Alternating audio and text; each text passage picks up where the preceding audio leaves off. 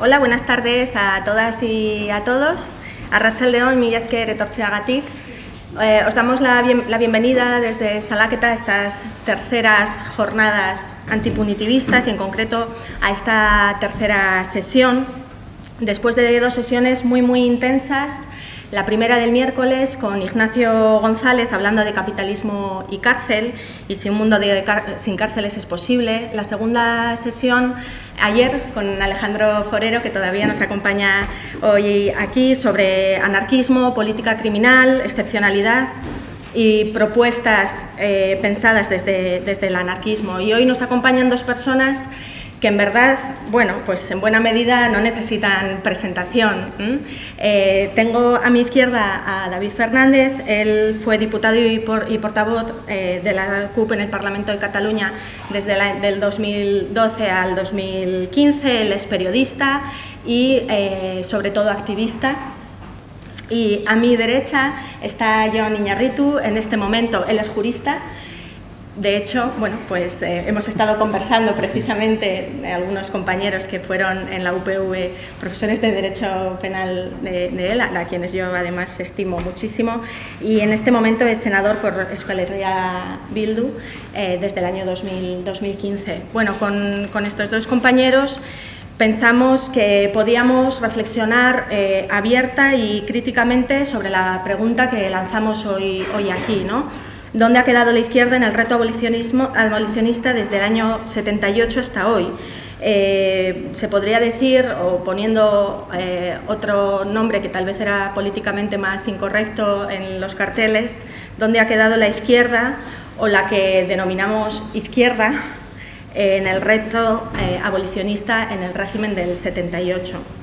El primer día de estas jornadas las inauguramos eh, haciendo referencia a algo importante. ¿no? Habíamos pensado estas terceras jornadas eh, queriendo eh, hablar de abolicionismo de la cárcel, de abolicionismo del sistema penal, de hablar de qué es lo que ocurre en torno a la cárcel, al sistema penal y a las propuestas alternativas o a la crítica y a la crítica de no haber avanzado hacia esa senda eh, no con respecto a lo que hacen los otros, sino desde una reflexión de cómo hemos gestionado esta cuestión desde los márgenes, es decir, cómo hemos gestionado y planteado y abordado el reto abolicionista en un sentido parcial de descriminalización de algunas conductas, en un sentido parcial abogando por la abolición de la prisión, o incluso en un sentido amplio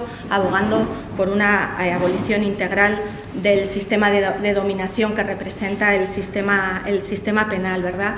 Queríamos compartir con personas y colectivos que nos autodenominamos o libertarios o anticapitalistas, feministas, ambientalistas, animalistas. Bueno, pues, eh, ¿qué relación tiene esto precisamente con el, con el antipunitivismo? Y este era uno de los retos fundamentales, ¿no? pensarnos hacia adentro acerca de qué hemos hecho, qué estamos haciendo y qué podemos hacer, ¿no? sobre todo siendo generosas con nosotras mismas, que si las respuestas no son muy positivas, pues al menos qué podemos eh, eh, hacer. Creemos que en las dos sesiones que hemos tenido hasta ahora realmente han surgido elementos muy reveladores en esta discusión, en este debate y seguramente que hoy bueno, pues surgirán, eh, se podrán sumar muchas otras ideas y, pretensiones.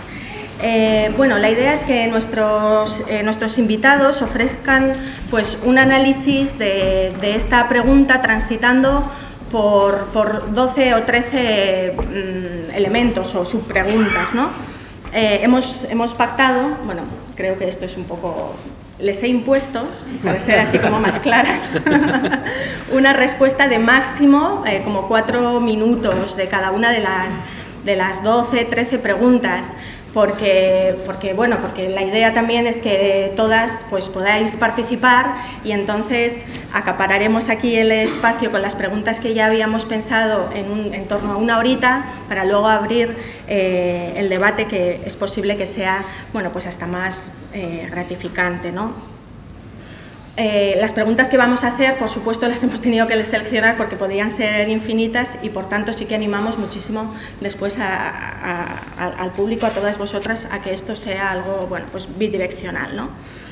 Em, otra cuestión, desde Salaqueta habíamos asumido eh, la idea de, antes de empezar con este conversatorio, con este diálogo, habíamos asumido la responsabilidad para contextualizar pues, eh, mejor algunas de las preguntas, dar una mínima respuesta a eh, cómo se ha avanzado en el, en el reto abolicionista ¿sí?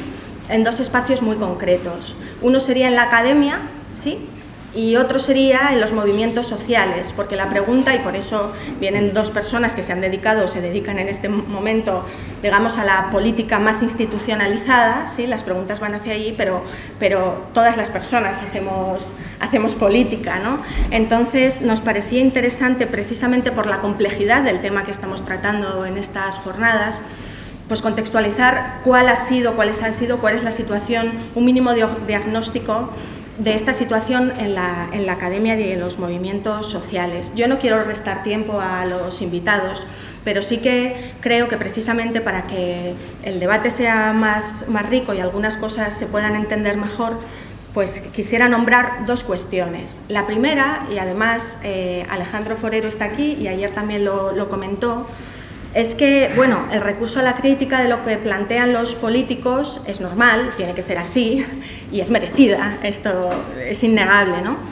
Pero la cuestión es que muchas veces las agendas políticas se nutren de la ciencia o de la pseudociencia eh, y, esa ciencia muchas veces se hace desde las universidades, se hace desde la, desde la academia, ¿no?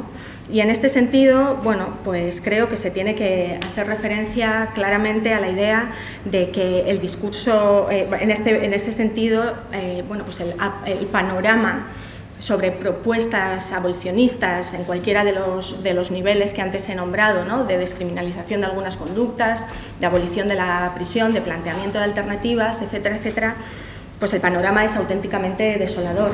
En estas jornadas hemos traído a dos profesores mm, de distintas universidades que son una, excepción dentro de bueno, pues, eh, un escenario donde, donde la crítica se podría decir es prácticamente, prácticamente ausente. ¿no? Y creo que esto bueno, pues tiene también su relevancia después, que es lo que sale por parte de, de las agendas políticas. Y con respecto a los movimientos sociales, lo comentábamos también antes, bueno, pues desde la COPEL, que son quienes directamente, abiertamente abogaban por la abolición de la prisión, es decir, que nunca se hubiese dado esa ley general eh, penitenciaria, que fue la primera ley orgánica que, tenemos en, democracia, pues es verdad que ha habido un número importante de colectivos y de movimientos, sobre todo de soporte de personas presas, y también más en concretamente, y aquí en, esta tierra, de sostenimiento y soporte a, personas presos y presas eh, políticas y políticos eh, vascos, pero el panorama también es desolador cuando pensamos en colectivos que abiertamente se declaren abolicionistas de la, de la prisión. ¿eh? Desde la COPEL, de hecho, creo que podemos decir que no hay ninguno, a excepción de algún movimiento, algún colectivo, pequeño colectivo, o desde que nace desde el pensamiento más, eh, más anarquista. ¿no?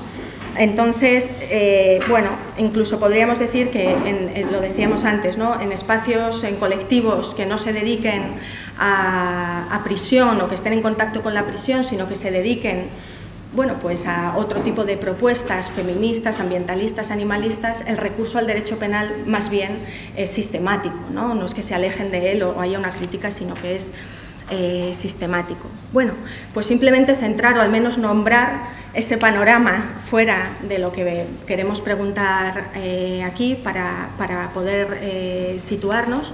Y sí que pasamos, si, os parece, sí, un poquito a, esta conversación. Hemos dividido en dos grandes bloques las, preguntas. Unas son más referidas a política criminal y otras sobre la cárcel en, en concreto. ¿sí? Y bueno, pues vamos a, la primera pregunta. Eh,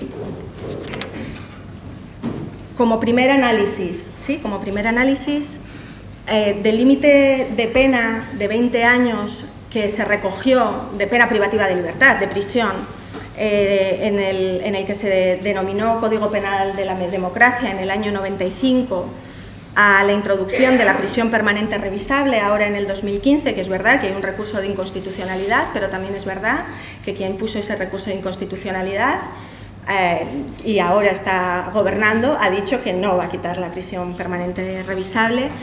Como primer diagnóstico, la pregunta es cómo hemos llegado a esto y tiene la izquierda algún tipo de responsabilidad al respecto. Por ejemplo, aquí ya empezamos que se lanzan el equilibrio y que hable primero el que quiera. Como quieras, ¿eh? Eh, buenas tardes y a Saudión y Mila Esker y gracias a todas y a todos, gracias a la que son también muchos años y muchas décadas, yo creo, compartidas con una coordinadora para la prevención de la, de la tortura y izquierda, bueno, pues yo creo que por supuesto tiene una responsabilidad eh, directa, en todo lo contrario de lo que plantean estas jornadas, ¿eh?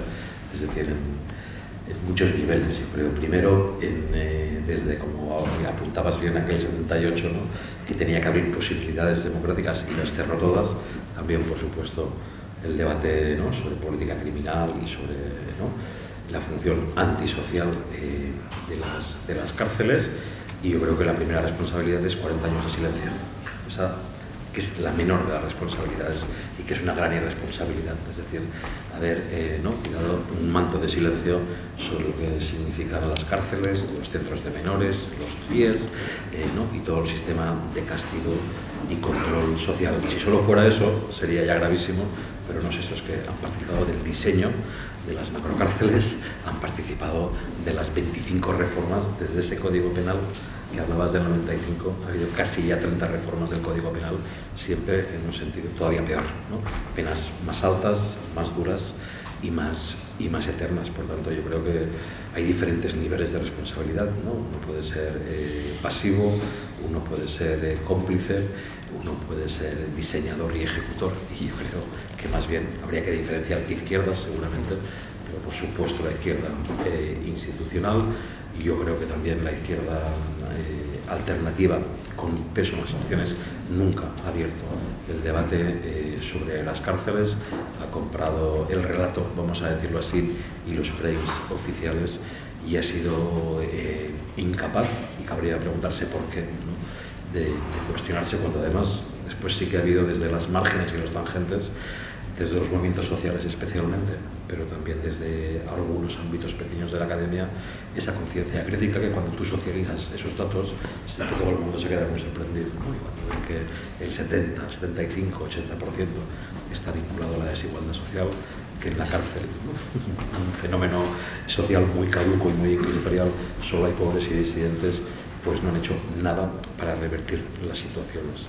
Incluso también cuando ha habido crisis graves, en el caso catalán unas cuantas, seguramente la peor, eh, la de la represión en Cuatro Caminos, en el año 2004, pues bueno, pues la hemeroteca está ahí para ver qué dijo la izquierda y en qué lado se puso, se puso la izquierda. Por lo tanto, yo creo que, que la pregunta que teníais en el cartel, la respuesta solo puede ser eh, eh, necesariamente dura y crítica y yo creo que también por la parte que nos corresponde incluso la izquierda alternativa, autocrítica también. Eso es, el, para mí es el punto de partida. Beno, lehenik eta behin eskerrik asko miramenagatik. Zen, ez da lehenengo aldia, goten izena hemen katakraken, baina gai honekin bai. E, interesatzen zaidan gaia, eta horregatik eskertu nahi dizuet, zalate, salaketako kidei, ego mirapena honegatik. Eh, quería agradecer en primer lugar a, a Salaqueta por esta eh, invitación, porque es la primera vez que vengo a hablar de este tema eh, tan interesante aquí a Iruña y a Catacrac más en concreto. Cuando debo reconocer que esta será una de las charlas más difíciles o que más me ha costado preparar. Y de hecho veníamos David y yo en el tren estudiando como en la universidad, intercambiando apuntes hacia Iruña. Y cuando veía las preguntas, que nos las habían pasado, han hecho trampas, pero yo cuando venía en el tren he dicho, Vale, debemos, y decía David, quizás debemos hacer autocrítica en alguna parte de la izquierda, que eso es otro debate, que izquierdas, porque gracias a estas preguntas, debates que yo ni me había planteado, eh, como he consultado con compañeras y con compañeros también, ¿qué respuesta podemos dar a este asunto? Pues al final hemos generado ese debate que no estaba, eh, no estaba sobre la mesa.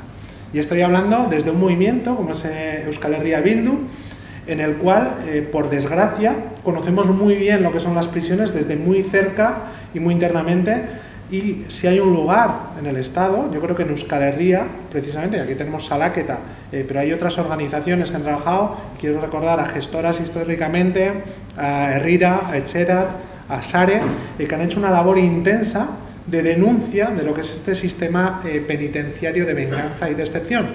Y recordaba un artículo que no ha sido escrito aquí en Euskal Herria, que era de Ignacio Escolar, que hace cuatro o cinco años escribió un artículo que os recomiendo que, lo busquéis si, podéis, que es la crítica que hacía al sistema penitenciario español comparándolo con otros sistemas europeos, donde decía, en un estado donde se cometen muchísimos menos delitos, las penas de prisión son muchísimo más severas, incluso en algunos estados que sí tienen ese ergástolo, esa pena privativa de vida. O sea, en esos estados que hay cadena perpetua, se cumplían menos años de prisión que en el estado que teóricamente no existía, hasta ahora hasta ahora que hemos visto esta eh, pena eh, permanente revisable, que es eh, curiosa la, definición en sí. Y como decía David, ¿cómo se ha ido en estas reformas a peor. Y desde la izquierda, por lo menos alternativa, siempre hemos tenido como que gestionar los nuevos ataques y, los nuevos eh, restricciones que venían, porque siempre era como a peor, ha sido a peor. Y el Partido Socialista, que habría que analizar si es izquierda, lo primero, eh, pero si la calificamos como izquierda institucional, mm. tiene gran parte de responsabilidad, muchísima. Y, cuando, y recordaba ahora, cuando decíamos, es que también en la ley Mordaza hemos pasado de una eh, solicitud de derogación, ahora una simple reforma. Eh, y el Partido Socialista en esto, no solamente en esto, eh, vemos como la ministra de Trabajo también, que estaba a favor de la reforma, en contra de, perdón, a favor de derogar la reforma laboral, ahora dice, no, bueno, haremos unas modificaciones porque una cosa es estar en la oposición y otra en el gobierno. Y esto con todo el rostro del mundo. Y por no alargarme, decir, eh, en Euskal Herria que hemos conocido bien, eh, o conocemos lamentablemente bien, qué es ese sistema de, eh, penitenciario de venganza y de excepción con un colectivo concreto de presos. Es cierto que generalmente eh, esa excepcionalidad, como pueda ser el alejamiento, se aplica al 30-40% de presos llamados sociales o comunes, pero es que se aplica al 95-97% de presos vascos. Vemos como ese primer grado, del que luego yo creo que hablaremos, se aplica eh, en un 95% a los presos y presas vascas y se aplica solamente a un 5% del, eh, de la población penitenciaria. Vemos cómo es cierto que es un sistema eh, represor de excepción en general, que hay que eliminar, y cuando hablaba David, leían los apuntes, esto sí que el 70% del colectivo de, perdón, de la población penitenciaria está en la cárcel por motivos relacionados con delitos que tienen que ver con las drogas, ya sea por consumo, por narcotráfico o por delitos que se han cometido para adquirir esas, esas drogas. Digo, es un debate global, no es simple, pero que si abordamos lo que es eh, presos y presas por motivación política y presos y presas que derivan de eh, las drogas o su relación con las drogas ilegalizadas o ilegales, habría debate también, pues podríamos hablar de que habría ya en esa transición a la abolición que reducir ostensiblemente ese colectivo que está sufriendo esta, estas medidas de esta política penitenciaria eh, de excepción en este Estado. Es que me enrollo. No, pero está fenomenal como, como has eh, ubicado esta última parte porque tiene una relación directa con, con la segunda de las preguntas que, que, habíamos pensado en relación a la, a, la, criminalización y descriminalización de ciertas conductas. ¿no? Eh, voy a nombrar como dos fenómenos para poder sacar de ahí algunas conclusiones, eh, como sería aquella propuesta de Gallardón que le costó la dimisión sobre bueno, volver a criminalizar un número enorme de supuestos de, aborto. ¿no? Y por otro lado, eh, la criminalización del llamado fenómeno top manta. Creo que son como los dos fenómenos como más recientes donde se ha planteado esta cuestión muy directamente sobre criminalización y descriminalización. La pregunta y las derivas en un caso y otro fueron distintas, ¿no? Y me parece como muy interesante como con la reforma de la ley del, aborto no salió esa reforma. Bueno, de hecho el ministro tuvo que dimitir. La pregunta sería qué aprendizajes, como en en, la lucha precisamente para que no saliera esa ley, qué aprendizajes se pueden destacar. Y la segunda, muy distinta, es lo que sucedió con la criminalización del fenómeno top manta. ¿no? Cuando, cuando teníamos en el Código Penal unas penas altísimas y se ponían por parte de los tribunales unas penas muy altas a aquellas personas que vendían eh, con su manta ciertos eh, objetos, porque esto bueno, pues afectaba a la propiedad intelectual o a propiedad industrial, dependiendo de qué es lo que estuvieran eh, vendiendo, pues desde, desde las universidades sobre todo y, muchas, y, algunas sentencias decían, claro, es que esto... ¿Qué se está protegiendo aquí? No se puede castigar a estas personas, ¿no? No hay ningún bien jurídico lesionado. En realidad, bueno, pues son conductas absolutamente bagatela, pero sin embargo surgió una plataforma, porque había otros jueces que estaban metiendo un montón de años a un montón de manteros en prisión, salieron distintas plataformas, entre ellas la de ningún mantero en prisión, donde se empezó a plantear la necesidad de pensar en un tipo, de un tipo atenuado con una pena menor. Eh, y, esto es, eh, y esto es lo que se, se, introdujo en el Código Penal. Es decir, la idea sería eh, qué estrategias planteamos para no conseguir para no conseguir que se pongan menos penas, sino realmente por qué no estamos o por qué desde la izquierda nos está cuestionando directamente por qué protegemos la propiedad intelectual e industrial, por qué estamos protegiendo la propiedad, por qué, un poco en relación a lo que ahora planteas, ¿no? ¿Por qué planteabas, por qué eh, la ilegalización de las drogas? ¿Acaso pensando en la descriminalización de todas estas conductas y no creando pues, tipos atenuados, estaríamos yendo más al fondo de la, de la cuestión, porque el ejemplo del top manta ha dado lugar, sí, a un tipo atenuado, pero donde se siguen poniendo penas a personas que venden con su manta, donde siguen entrando a prisión y donde además después de estar en prisión son expulsadas o directamente son expulsadas. Entonces la idea sería qué podemos rescatar de, la pregunta sería qué podemos rescatar de, de este movimiento enorme que hubo con el tema del aborto y qué tendríamos que aprender sobre, sobre las campañas, por ejemplo, con el Top Manta, donde lo que, lo que conseguimos son, podríamos decir, éxitos muy relativos, muy relativos. Cuatro minutos, ¿eh? Sí, sí, cuatro minutos. 19, 19, 27. especialmente la de, la de los top ¿no? Hmm. Eh, yo creo que es una realidad que, que prácticamente solo a partir de los top podríamos abordar toda la cuestión que tratáis, eh, que tratáis de fondo. Y, me guardo la de, la de Gallardos del movimiento feminista para poner un poco de esperanza al, al final. ¿no? Yo creo que la cuestión de los top manta y de la represión eh, de la venta ambulante, ¿no? Eh, informal, eh, alegal, sin permiso administrativo, la verdad creo que es el mayor espejo ¿no? Los niveles de cinismo y de hipocresía y de clasismo y de racismo que definen las relaciones de poder y también de muchas desigualdades, es decir, cómo los intereses de una minoría pasan por intereses universales y generales.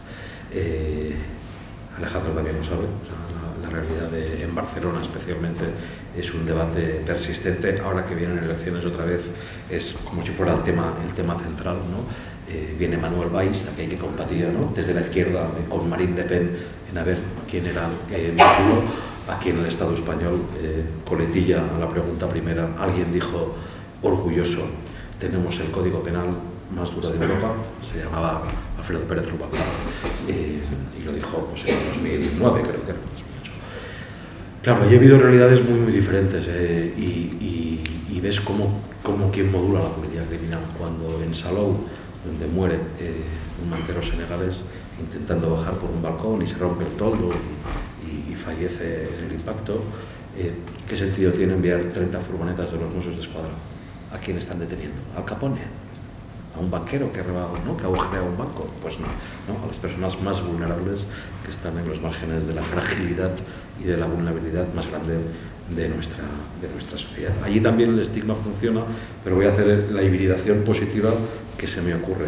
Eh, eh, la CUP tiene muchos errores, cometemos muchos, muchos cada día y algún acierto, a veces eh, incluso improvisado, sí, ¿no? Pero en Barcelona el grupo municipal ha defendido siempre a los top manta, ha defendido al sindicato mantero, siempre está en todas sus reivindicaciones y eso por una parte de un coste de estigmatización, ¿no? Estos son los amigos de, pero por otra parte también yo creo que ha frenado decir, cuando tú consigues romper el consenso represivo y el consenso criminal, y alguien levanta el dedo y empieza a cuestionar, de repente ahí hay un pequeño freno. No digo que sea absoluto, pero hay un pequeño, hay un pequeño freno. Y eso ha sido, yo creo que, eh, que positivo. Incluso también es verdad, y ahora entro en el debate global, ¿no? cuando hablamos eh, porque la izquierda, la izquierda, es abolicionista, yo, quiero que, yo, creo, yo, bueno, yo creo que vivo en un espacio que se autodefine formalmente eh, abolicionista. Después habría que discutir cuánto hacen por el abolicionismo, pero también quiere acabar con el capitalismo y también quiere acabar con el machismo y también quiere acabar, ¿no? es abolicionista del racismo. El problema es que es un poquito complicado acabar con el capitalismo, acabar con el racismo y acabar. Entonces el problema es cómo, eh, cómo lo hacemos, sobre todo cuando todos son retrocesos y hay pocos, y hay pocos avances. Y yo creo que la experiencia del movimiento feminista, en ese sentido, cuando citabas a Gallardón, nos da la clave de cómo se puede abrir el debate. O sea, los debates habitualmente se abren desde abajo y a la izquierda, y poco a poco, como las balas de goma, ¿no? eran incuestionables y de repente en Barcelona, pues, a través del caso Esther Quintana y de numerosas víctimas silenciadas, pues se consigue abrir un debate y desde una posición aparentemente pequeñita, alternativa, se consigue finalmente después de unos cuantos sufrimientos y dos años, dos años que para nosotros es mucho, pues una prohibición eh, de las, de las bases. Por tanto, el reto, el reto es ese, y con el movimiento feminista pasa exactamente eh, lo mismo, haber puesto encima de la mesa la cuestión de, la, de, la, violencia machista, de, lo que antes era en silencio, pues un, crimen continuado, por decirlo así, en este caso, con tantas mujeres asesinadas, hoy está en la agenda eh, pública. Por tanto, yo creo que el debate va mucho por ahí, pero pasa que esto Manta lo condensa, lo condensa todo. Y además, yo aprendí en la escuela pública catalana, por cierto, algo jacobina, ¿no? de abrir escuelas y cerrar cárceles, ¿no? en el sentido más positivo de jacobina, no decía en términos negativos, que la autoridad de verdad se demostraba eh, defendiendo al débil ante el fuerte y no defendiendo al fuerte ante, ante el débil. Entonces, detrás de los Tomanta pues hay una realidad portuaria, hay otra realidad, ¿no? mucho más de, pues, pues de, mafias de diferente escala, pues que también eh, explotan obviamente a los más, eh, a los más, a los más expuestos a la, a la, vulnerabilidad. Y lo otro también es, obviamente, si no nos gusta eso, ¿qué hacemos? Yo creo que ha habido experiencias eh, relativamente positivas, aunque también en, en el marco de la contradicción, pues han generado, ya sabéis que hemos generado una cooperativa que se llama Tomanta y que tienen sus camisetas que es Tomanta y que tienen pues su centro local en el centro eh, de Barcelona y otras salidas, porque el Tomanta siempre es una de tránsito, de pura supervivencia, pues se han generado diversas cooperativas también con, los que trabajaban con la chatarra, para buscar situaciones eh, vitales dignas, autónomas y, duraderas. Y eso sí que cuesta muchísimo. en, un contexto de capitalismo urbano es muy, muy difícil, pero bueno, hay cuatro o cinco experiencias de cooperativización ¿no? de la pura supervivencia a, un paso a fórmulas de economía social y solidaria, que me parece que es un punto interesante. Yo estando aquí en, en Iruña y centrándome un poco en, el asunto de la despenalización del aborto, yo podría como ejemplo del movimiento, en este caso el movimiento feminista eh, y toda la organización desde abajo, lo que paró, lo que era una decisión eh, aprobada por el gobierno Creo que sin entrar en conspiraciones, porque muchas veces cuando decimos, no, no, es que hay influencias de, lobbies y de sectores, pues hay gente que decimos, yo el primero, como no seas tan conspiranoico, pero cuando hace dos semanas, recientemente hemos visto cómo cambiaba una sentencia del Tribunal Supremo en relación a los impuestos eh, con las hipotecas, ahí se explica muy fácilmente de qué forma hay lobbies, hay poderes fácticos que cuando algo les toca eh, entran, entran a fondo, aunque se cargue esa independencia judicial y esa separación de poderes. Aquí vimos cómo la organización, en este caso el movimiento feminista, eh, impidió, impidió que se eh, aprobara ese atropello y estamos en una ciudad que consiguió desde la desobediencia y desde el movimiento ciudadano acabar con el servicio militar obligatorio en todo el Estado. Lo que se hizo aquí en Nafarroa, especialmente, yo creo que es algo eh, digno de sentirse orgullosos y orgullosas. De hecho, este año creo que han abierto o han dado una plaza a los insumisos eh, de, esta, de esta ciudad y yo creo que es algo de estar orgullosos y orgullosas. Digo, desde el movimiento ciudadano se pueden parar cosas, obviamente. Eh, es cierto que estas noticias en positivo, que se pueden parar cosas desde la organización, desde el, eh, empoderamiento ciudadano, es cierto también, como veíamos, cómo hay eh, actitudes que se criminalizan cuando hasta ahora no estaban criminalizadas. Recientemente, a colación de ese tribunal de excepción, que es la Audiencia Nacional, que veo además aquí varios abogados y abogadas que conocen muy bien porque tienen que pasar muchos días a la semana por allí, como el número de sumarios, son una pregunta de estas parlamentarias que yo hago cuando me, aburro, pues había descendido en, eh, de 500 al año a 100 al año. Pero que los delitos de terrorismo, lo que eh, hasta ahora se conocía por terrorismo, pues un tercio de esos delitos que eh, se sumarios en este momento son por delitos de opinión. Esto es a tuiteros por expresar una opinión que según un informe policial eh, tiene un delito de apología del terrorismo. Cuando se acaba la violencia, como hay algunos eh, magistrados y magistradas nerviosos porque eh, les pueden cerrar su centro de trabajo, pues lo que se hace es metamorfosear y cambiar el delito. recientemente, y no me enrollo mucho más, en, Cataluña me decía un chaval, hablando del Tom Manta, que tenía que haber ido, que tenía que, que había ido a declarar a Madrid eh, por un tuit. Y le pregunté en relación a qué tuit era, y era una denuncia que había hecho eh, por la muerte de, un chico eh, subsahariano que en una persecución policial en Lavapiés había resultado muerto, ya sabéis que hubo debate con ese asunto, pues por un tuit de crítica a la actuación policial había sido denunciado y tiene un juicio pendiente. Digo, vemos como las famosas redes sociales que son un instrumento que si se utilizan bien eh, eh, pueden acabar además con el control que tienen algunos medios eh, de comunicación de darnos su, su, opinión, pues vemos cómo se está criminalizando esa opinión, algo que hubiera sido un sinsentido hace unos años. Vemos cómo hay una regresión en ese aspecto, por lo cual siempre vienen sorpresas y siempre vienen actitudes que van eh, viéndose condenadas. Y luego hablaremos de los CIE, que son un nuevo modelo de, de prisión también, pero bueno, un poco más tarde, continuaremos por ahí. Bueno, siguiente pregunta muy directa.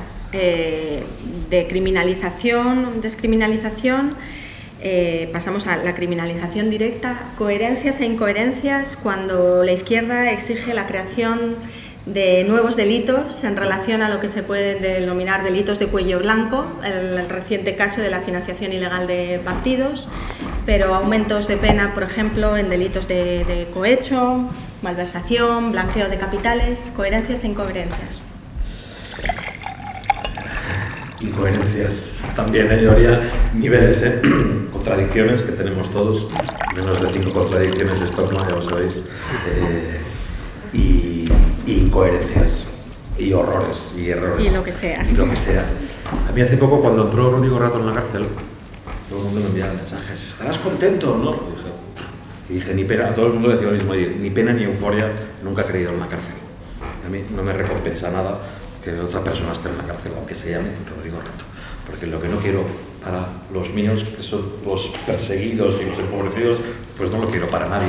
Y es así, entonces me parecería muy cínico, ¿no? Que lo que no quiero para los míos lo quiera eh, para los otros, sabiendo además, y yo creo que aquí hay un agradecimiento, hablamos de izquierda alternativa, que es al movimiento libertario, o sea, yo creo que si las reflexiones del movimiento libertario no hubiéramos, no, no tendríamos estas reflexiones eh, críticas, igual estaríamos en pues, otras posiciones, ¿no? Pues sí, tienen que existir, ¿por qué no? Y la resocialización y la reinserción.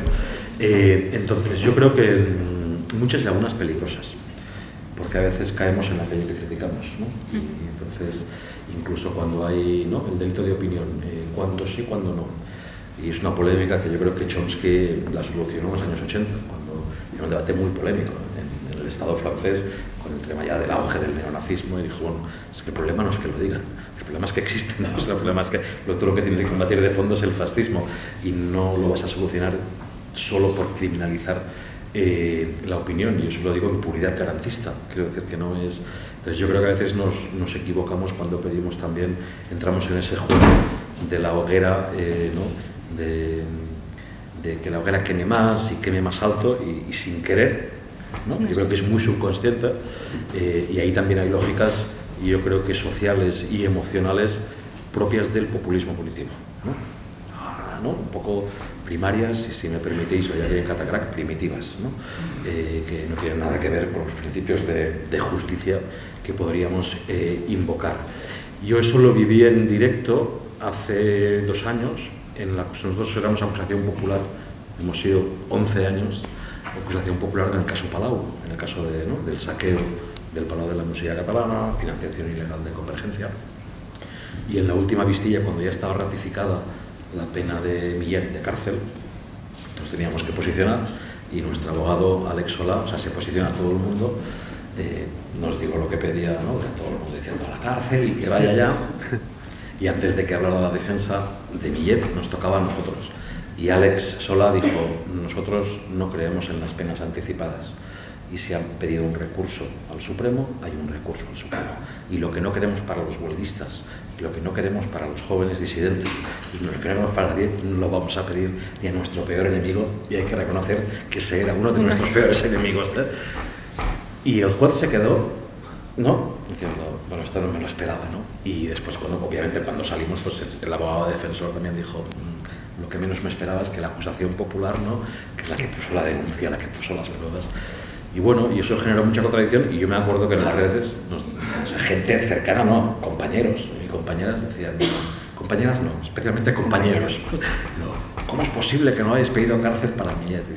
No sé, o sea, replantéate ¿no? ¿Qué, qué, es la cárcel y eso partiendo obviamente del clasismo absoluto y de la desigualdad lacerante, especialmente también en el caso catalán, donde hemos visto, pues yo qué sé, pues que Núñez y Navarro, el, gran constructor, con pena firme, ¿no? Eh, ella irrevocable tenía que estar 800 días en la cárcel y estuvo 38, Javier de la Rosa tenía que estar 700 y estuvo 22, y un narcoempresario, narcoempresario del cártel de Medellín, o sea, el empresario del año de Barcelona del año 2011, que es José Mestre, pues entró en el 15 en la cárcel, tenía que salir en el 24 y está desde el 2016 en la calle con un permiso especial de trabajo que cualquier preso social conseguir ese permiso es no ya una odisea, ¿no? es una utopía.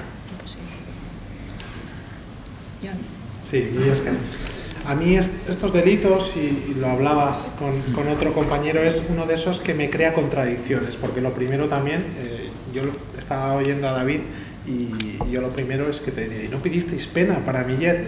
Y esto es lo que nos ocurre a muchos de nosotros, ¿no? O nosotras, cuando vemos que ha habido un saqueo, y aquí conocemos el, el caso de, de, la caja de ahorros de, de, Navarra, cuando vemos esos saqueos que se han hecho desde, desde la función pública, eh, lo primero que nos llama es ese, ¿no? ese espíritu más primario de decir, no, no, tú a la cárcel.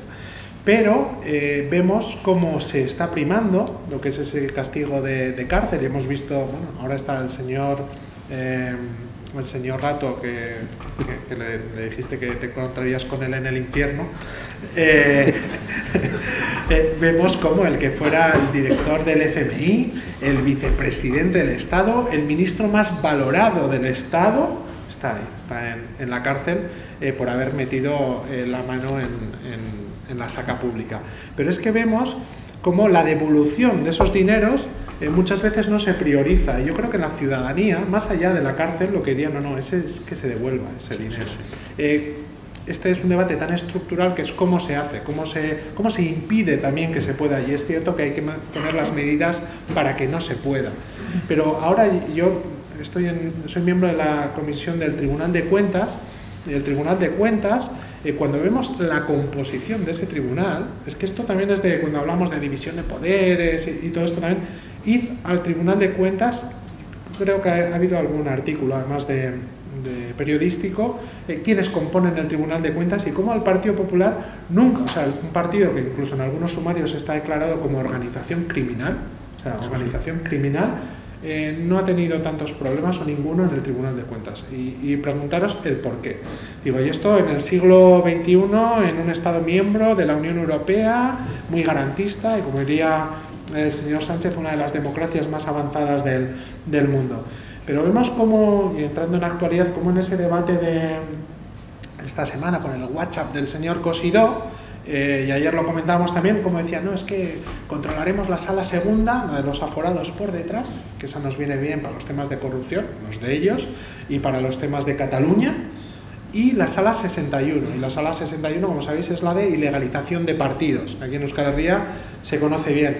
Eh, pues bien, ¿no sería lo normal ilegalizar a un partido que está declarado como organización criminal para que deje de cometer esos crímenes el, partido más corrupto de Europa? Vemos como ahí no hay debate. No, no, se está hablando simplemente de eh, sistema penitenciario, de cárceles, pero no de devolver el dinero y no de tomar las medidas para ilegalizar lo que es una organización criminal, en este caso, como es el, Partido Popular. Ya digo que a mí me crea contradicciones y no siento mucha pena. ¿eh? Cuando veo al señor Rato, bueno, no le deseo ningún mal, pero eh, pena no me da porque veo que hay muchísima gente eh, que por ninguna razón está en la cárcel eh, y eso sí me, dan, sí me dan pena. Y para acabar, quería comentar un último apunte, el de los indultos. Los.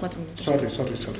El, el, de los indultos. Recordaba ayer, bueno, ya sabéis el tema de los indultos, que ahora Ciudadanos quiere meter artificialmente, con, cuando no ha habido ni condenados en, en Cataluña, ¿Qué ha ocurrido con todos los grandes corruptos del Estado indultados, sobre todo en la época del señor Andar, porque era año jubilar, porque el Papa había pedido que, que indultara y mil y pico indultos, gran parte de ellos a corruptos, a gente que estaba cercana a ellos. Y perdona que me haya pasado los Yo por alusiones. No, no, 20 segundos. Una porque no, por aclarar. Cuando decía, me estaba sorprendiendo que a Millet no le pedías pena. No, no sí, de hecho somos los que le pedimos más pena. Porque llegó a un pacto con Fiscalía 13 años, nosotros pedimos 27. Y, que, y sobre todo pedimos la restitución del último, del último céntimo. Lo que no pedíamos era la anticipada. Si todavía puede haber una segunda instancia de recurso, pues ese tiempo pues nos consideramos justo como cuando nos pasa a nosotros, ¿eh? de, que, estén fuera mientras llega la, la sentencia eh, definitiva. Iba a decir otra cosa, pero me callo. Bueno, me dan ganas de preguntar la incoherencia de pedir 27 años de prisión, pero voy a otro tema mucho más, voy a otro tema, muy fácil también, muy fácil. Eh, agresiones, abusos sexuales. En este momento se está trabajando por parte de una comisión para reformar estos delitos a la luz precisamente de un caso que pues pasó en esta ciudad ¿no? con la sentencia de la manada y se activan bueno, pues una serie de, reflexiones y el otro día me decían, me anticipaban, bueno, se sabe más o menos que como se quiere enfocar la reforma es... Eh, equiparando o no haciendo la diferencia entre agresiones sexuales y abusos sexuales, sino que sea un único delito y me decían que la propuesta, por ejemplo, de Unidos Podemos es eh, la de pedir como tipo básico de agresión y abuso en un único en ocho años de prisión. La pregunta sería, eh, para estos delitos, ¿plantearíais esta agenda? ¿Qué agenda eh, bueno, pensáis o tenéis ya en este momento pensada?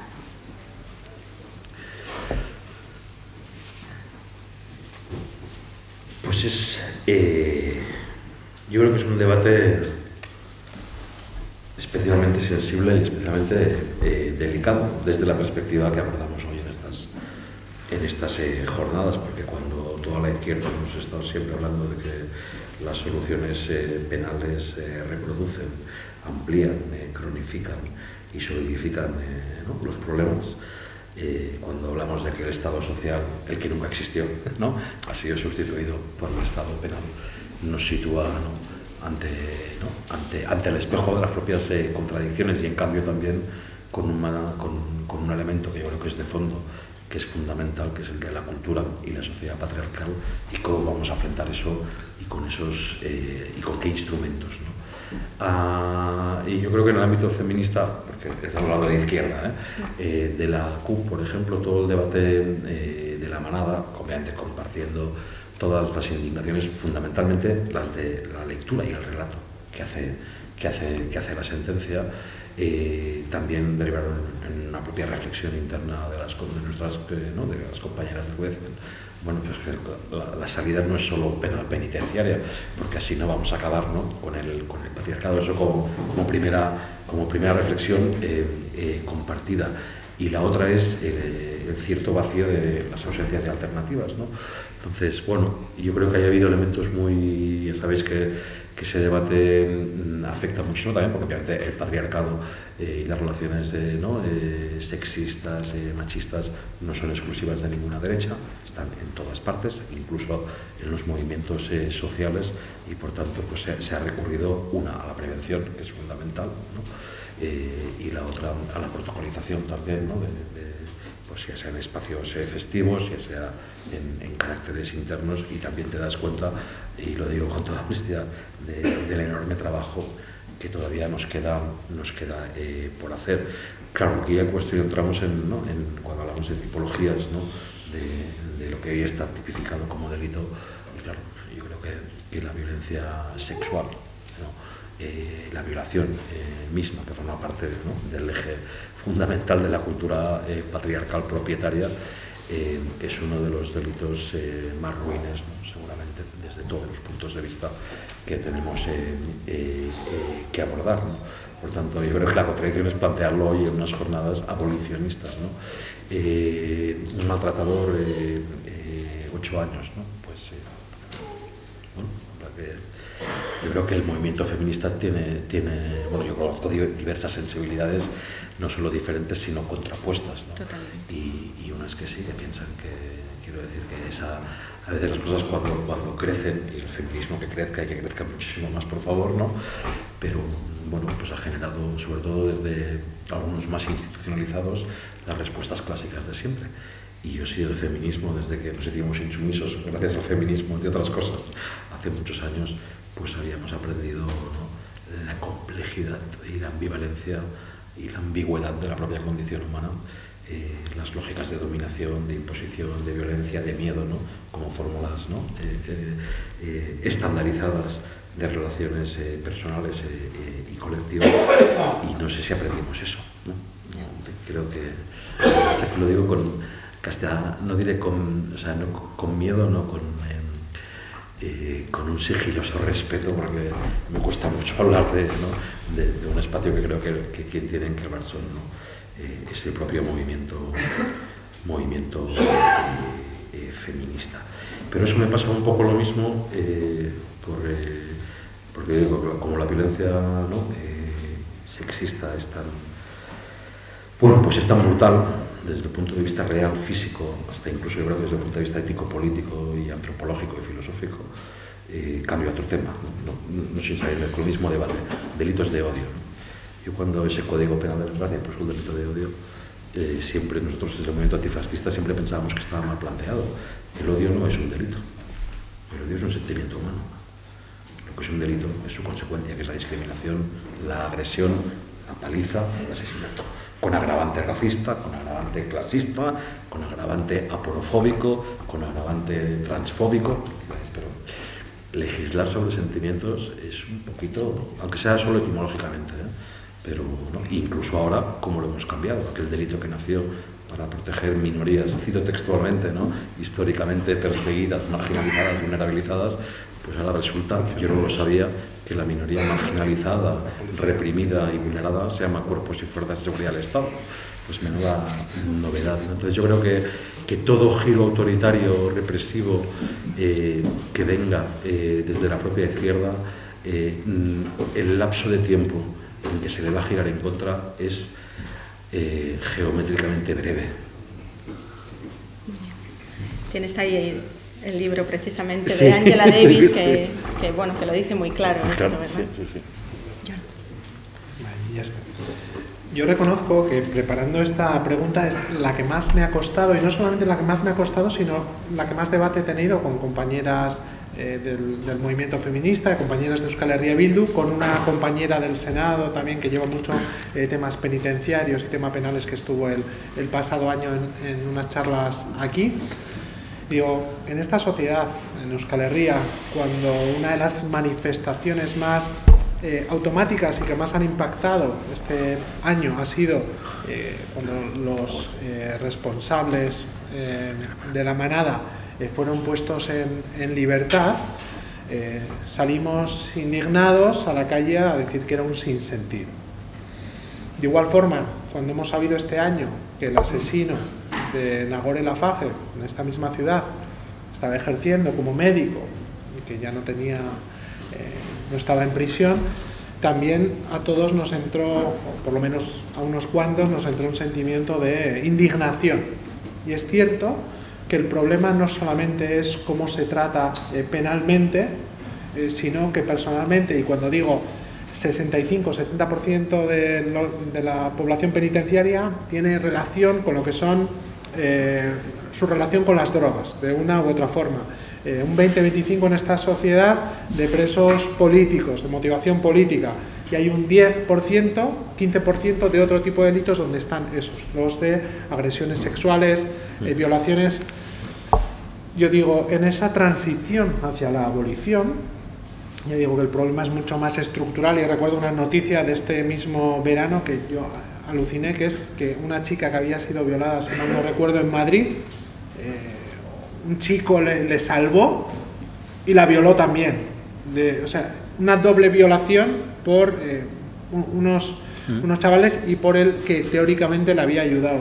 O sea, y esto nos da muestras, que hablamos de este sistema patriarcal, de ese problema muchísimo más, más estructural, y ante eso es cierto que no solamente caben las medidas eh, penitenciarias o penalistas, también protocolos. En esta misma ciudad, en Iruña, yo creo que se ha aplicado un protocolo eh, que obviamente se podrán aplicar muchas más mejoras, pero yo creo que ha sido ejemplar el protocolo que se ha establecido en San Fermines, que curiosamente es criticado por la oposición porque da mala fama a Iruña, que manda narices, ¿eh? o sea, como si el protocolo fuera lo que estigmatizara a la ciudad y no eh, agresiones sexuales o incluso asesinatos como fue el de Nagore de la Faja en esta sociedad. Creo que el debate es mucho más amplio, mucho más complejo, que hay que tomar medidas desde todos los ámbitos, pero eh, yo que ya digo, esa transición a la abolición de las prisiones, eh, creo que hasta que se encuentre un tratamiento, una solución a esos agresores, a esos violadores, los últimos eh, que deben abandonar las prisiones eh, deben ser ellos.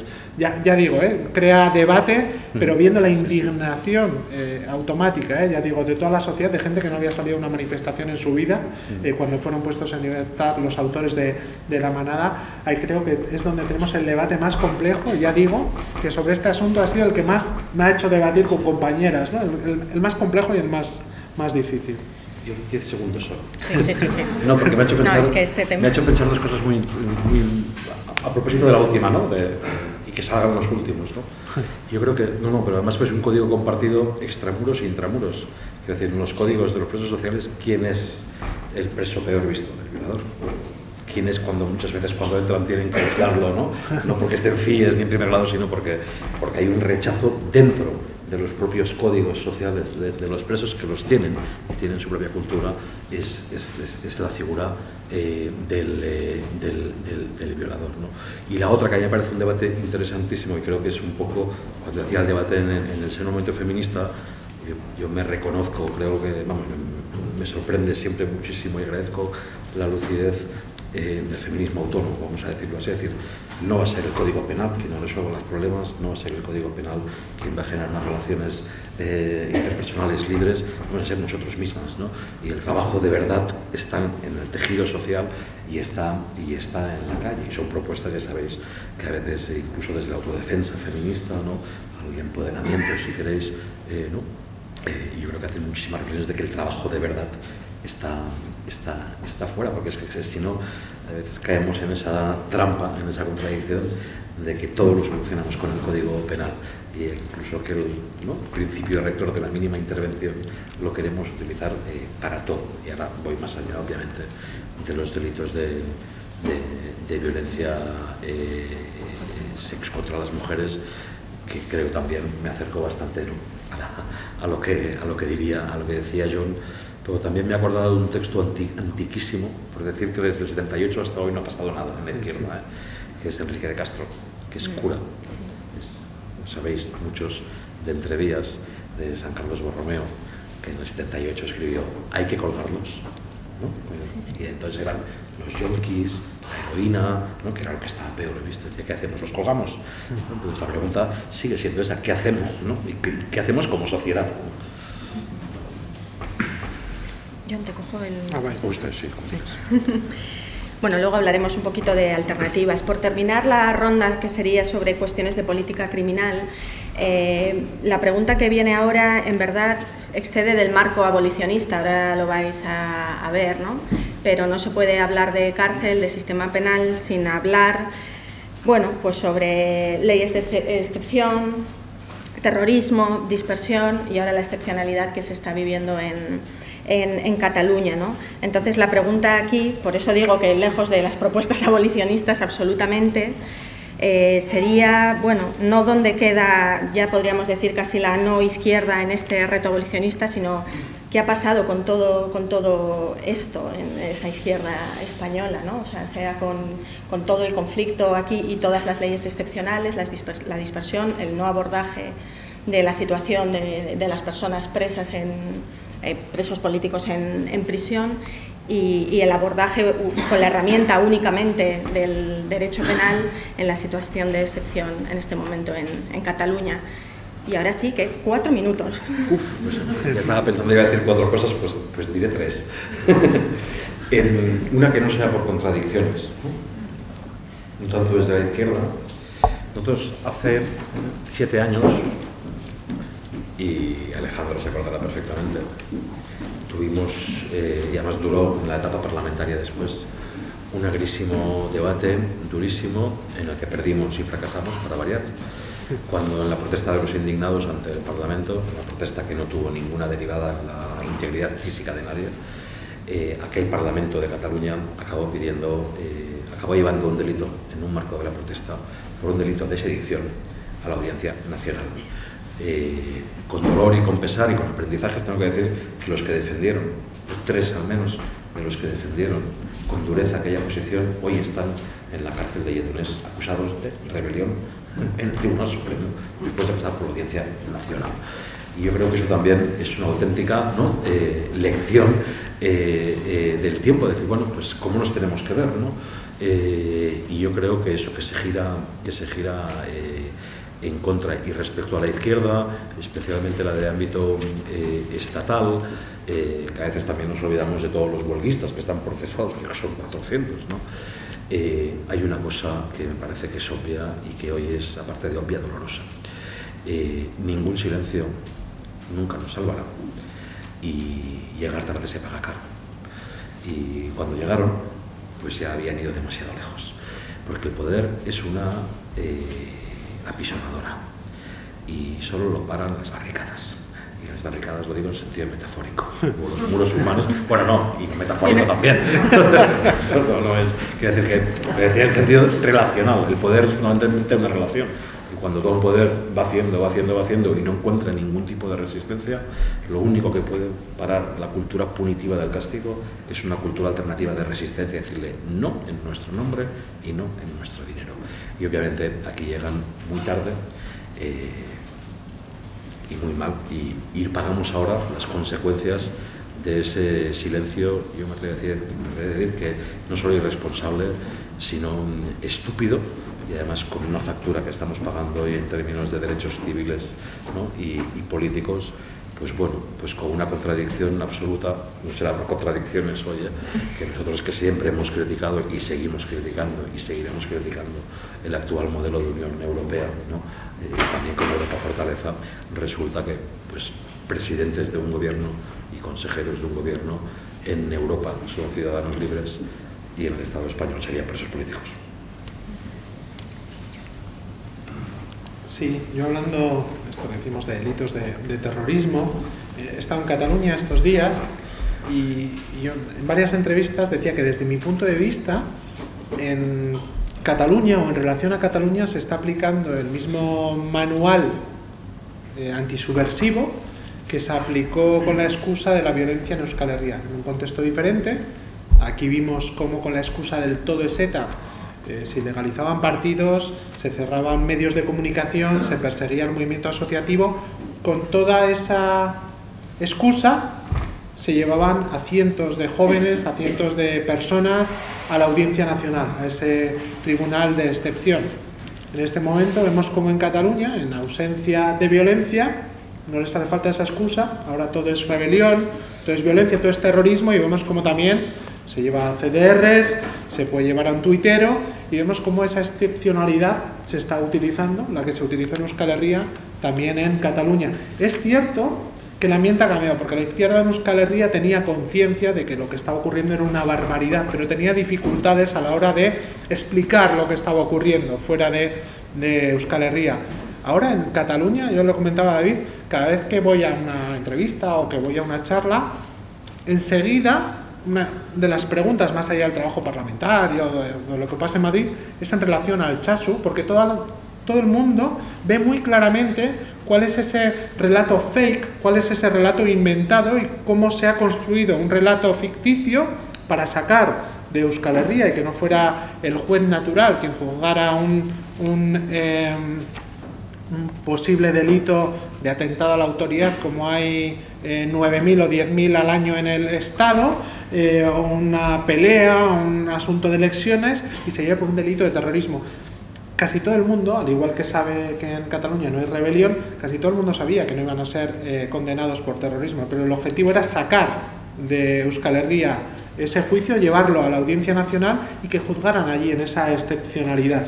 Digo, la diferencia es que se utiliza en Cataluña la misma, eh, el mismo manual que se utilizaba en Euskal Herria, solamente que ahora hay más facilidades de que se pueda entender también en algunas izquierdas que en el Estado hasta ahora eran mucho más reacias, incluso a intentar empatizar o intentar entender. En Cataluña no, porque siempre la izquierda independentista siempre ha estado y siempre ha entendido eso, pero en el Estado en general se ha facilitado un poco porque de hecho eh, yo he estado acompañando a la Audiencia Nacional a un humorista eh, de Madrid porque había sido llamado a la Audiencia Nacional por un eh, delito de enaltecimiento del terrorismo por una broma que había hecho al salir encapuchado diciendo que iba a disolver el Partido Popular por los delitos que habían cometido, que iban a pedir perdón, que iban a entregar las armas, bueno, por una broma de ese, de ese estilo, Facu, eh, que por cierto es de, Cataluña, eh, tuvo que ir a declarar eh, a la Audiencia Nacional. digo, esa barbaridad, o me estaba acordando ahora de los titiriteros y se me ocurrirían 100.000 casos más, pues ha ido que sí se pueda entender en algunos sectores que hasta ahora eran mucho más reacios a explicar. ¿Y 30 segundos? Sí. Perdón, ¿eh? Soy, soy, una inmoderada. No, no, porque obviamente como todo buen diálogo horizontal es, que tiene que fluir. Es, en el diálogo donde nacen, donde nacen las... Yo creo que hay, hay, dos cosas por añadir, ¿no? Muy breve. ¿eh? Una, eh, un paso más ¿no? en la lógica de excepcionalidad. Yo creo que es pura doctrina del shock lo que pasa en, en, en Cataluña. La década de excepción, el último estado de excepción en Europa fue Euskal Herria en ese ciclo 98, antes de las Torres Gemelas. ¿eh? Es cuando Aznar dice desde Turquía, pues vamos a cerrar X, ¿no? no pensaban que no nos atreveríamos hasta la legalización ¿no? de, de eso, que son 13 años de, de, excepcionalidad penal, procesal, política y penitenciaria también. Claro, eh, en Cataluña eh, se ha ido más allá, porque se ha disuelto el Parlamento, se ha depuesto un gobierno, se han destituido 252 cargos públicos, está el 80% de los alcaldes imputados e investigados. y por tanto, es doctrina del shock. Ganar por la vía judicial lo que saben que no van a ganar por la vía eh, democrático-electoral. Y todo eso, que hay que ser breve, yo diría que en una, eh, queda resumido en una poría vasco-catalana o en una paradoja de difícil resolución que plantearía de la siguiente manera. En Euskal dijeron, en ausencia de violencia, todo es posible y en Cataluña dicen, en presencia de pacifismo, todo es imposible.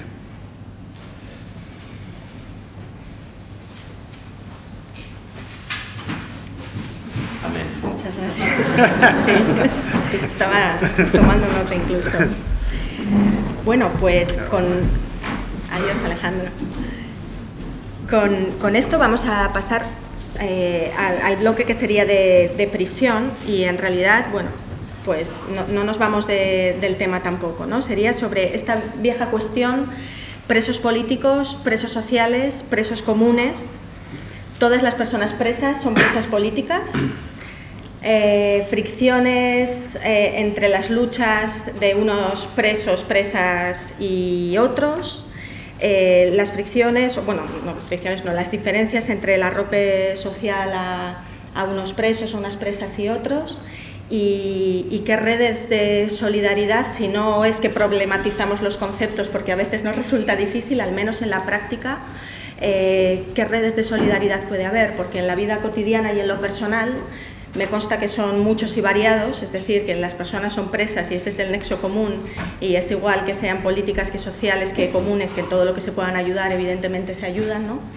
pero, pero desde fuera y desde la construcción de, de redes ¿sí? comunitarias o desde el discurso político, eh, ¿qué, ¿qué, se puede hacer? Eh, reflexiones al respecto, sí. En, cadena prácticamente. ¿eh? La primera es, si estamos diciendo que la izquierda, ¿no? Eh, la institucional, y me sumo a, ¿no? a, a, lo que decía John, para mí no entra al PSOE, pero bueno, con, la lógica de la, en la convención de la academia, pues por lo visto son de izquierdas, pues que, Podemos consensuar pues que, los dejamos fuera. Sí, sí, pero eso hay una dicha argentina preciosa que dice el poder es como un violín, siempre se toma con la izquierda y se toca con la derecha. Entonces, eh, dicho eso, eh, yo creo que como no ha estado en la agenda política, ni en los programas políticos, ni en las prioridades políticas, un modelo, ¿no?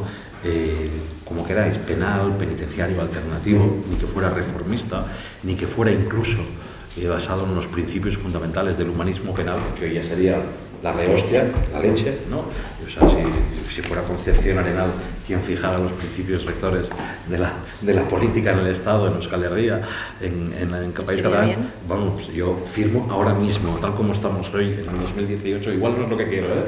pero vamos, firmo eh, ahora, ahora mismo. Como no ha estado, no ha habido ninguna eh, gestión en redes. Y yo antes lo hablaba también al principio con, en, abajo con...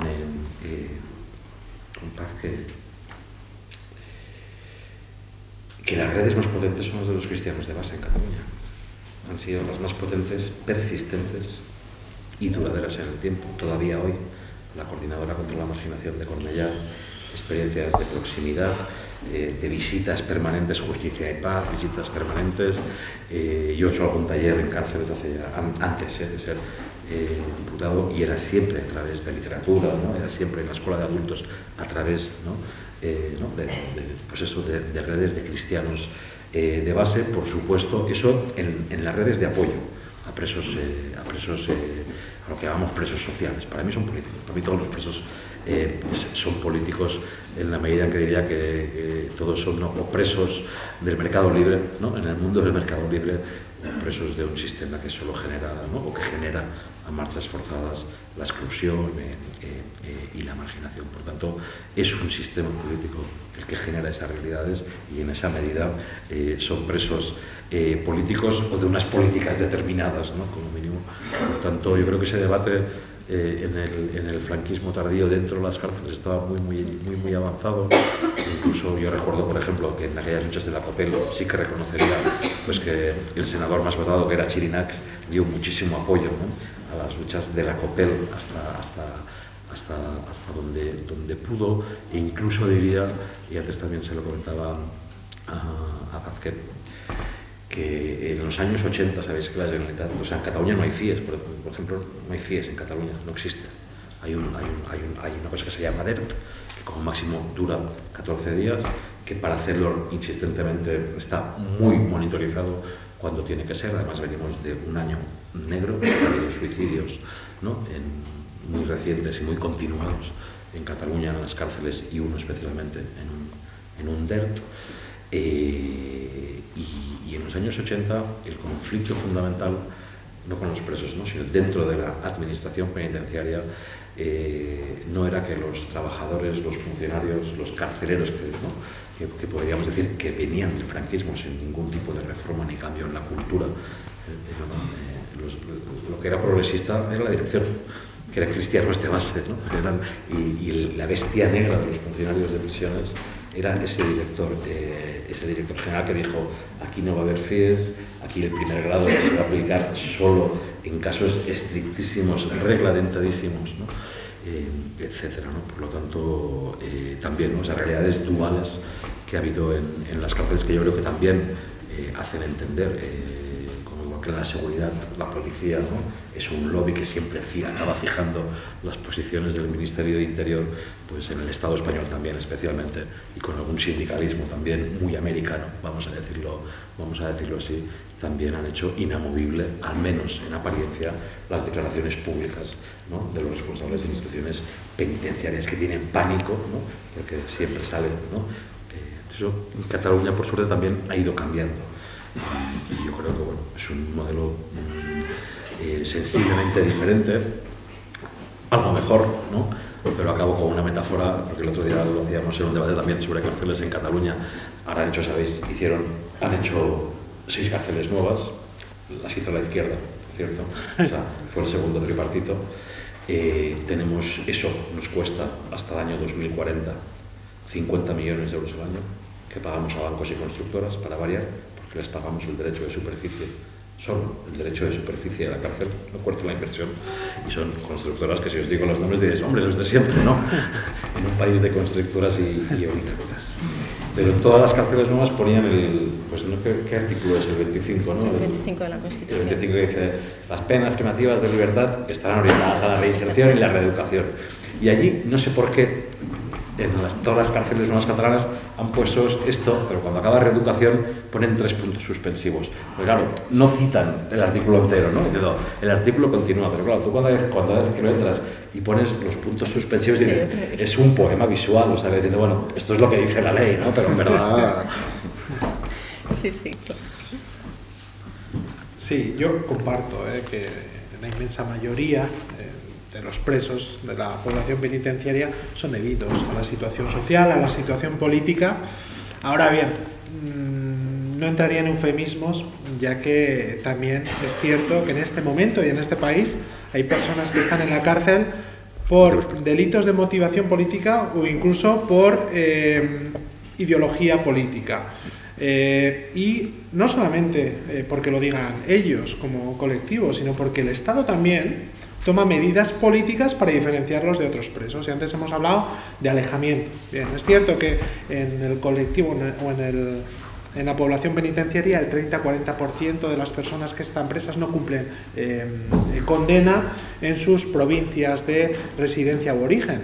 Es cierto que ese 30-40% pues tiene una media de alejamiento de eh, 200, 300 kilómetros de eh, su población de origen. Pero es que en el colectivo de presos vascos el 90% está a una media de 600, 700 kilómetros. Y vemos como ahora que está haciendo yo no diría ni acercamiento, que el, el, gobierno socialista ha empezado a hacer algún movimiento, lo que supone un, según algunos medios de comunicación, un acercamiento, supone que sean alejados en vez de a 800 kilómetros a 300 kilómetros o a 400 kilómetros. Vemos cómo esa excepcionalidad, y antes comentábamos también el primer grado, ¿no? Eh, yo he tenido la ocasión, claro, cuando iba a visitar a algún amigo eh, que está en prisión, pues ibas al locutorio y no ves el módulo, pero ahora desde la Comisión de Interior, que he tenido ocasión de visitar algún centro penitenciario, tú cuando entras a un módulo de primer grado o de régimen cerrado, solamente el estar media hora en ese régimen, tú dices, y luego hablábamos de Guantánamo, o sea, tener una, una, jaula, ese es el patio, tener una jaula y estar ahí eh, 10, 12, 15 años, digo, eso es, es que, bueno, encontrar cualquier principio de humanidad y de cualquier sentido, decías, eh, resocialización, rehabilitación, o sea, eso es eh, venganza pura y dura eh, contra un colectivo. Claro, en, el, en, la población penitenciaria, si ese primer grado solo se aplica a un 3, a un 4% de la población, pero vemos como el colectivo de presos y presas vascas se aplica a un 90%, pues vemos como hay unas medidas políticas contra un colectivo exacto y es el mismo Estado también, por mucho que digan, no, no hay presos políticos en el Estado, pero si eres tú mismo, como, como Estado estás aplicando medidas políticas contra un colectivo concreto. Y podríamos hablar largo y tendido y, gente mucho más especialista que yo que hay hoy eh, oyéndonos de a qué se lleva toda esa excepcionalidad. Es cierto que hay que tomar, y lo hablamos desde el inicio, eh, medidas estructurales por un eh, nuevo modelo no punitivo, no, pero es el, el, mismo Estado el que lleva esa excepcionalidad y venganza contra un colectivo preciso en este momento. Y un apunte que recordaba eh, una pregunta de estas parlamentarias tan interesantes. Yo eh, pregunté al, gobierno, al anterior, eh, se lo preguntaré también a este para ver la diferencia, en qué niveles de reincidencia estaba en el estado de las personas que estaban en, prisión. Un dato interesante porque había leído que los niveles, en, un informe del Consejo de Europa que había muchos niveles de reincidencia en el Estado. Y me dijeron que, claro, un 40-45% de las personas que estaban en prisión pues, eh, tenían reincidencia. Es cierto que con el, colectivo de presos políticos eh, no llega ni a un 1%, pero es contra el que medidas más severas eh, se aplican pero en, otro régimen de los presos llamados sociales o comunes, pues llega a esos niveles, porque no hay programas, es que ni siquiera hay programas, es esa, esa venganza se lleva a tener unas personas separadas de la sociedad sin ningún programa eh, que pudiera ayudar en esa rehabilitación eh, de personas pues bueno, que han tenido problemas sociales por su entorno, por su marginalidad o por su eh, relación con las drogas. Digo, unos niveles muy altos muy altos en unos colectivos que sí necesitarían en algunos casos pues unos programas que pudieran ayudar a, eh, rehabilitarse. Las cárceles, lo decía Arnaldo Tegui, las cárceles eh, no sirven para resocializar ni para reeducar. Ahí ves gente que entra desde la marginalidad y que sale eh, más en la marginalidad.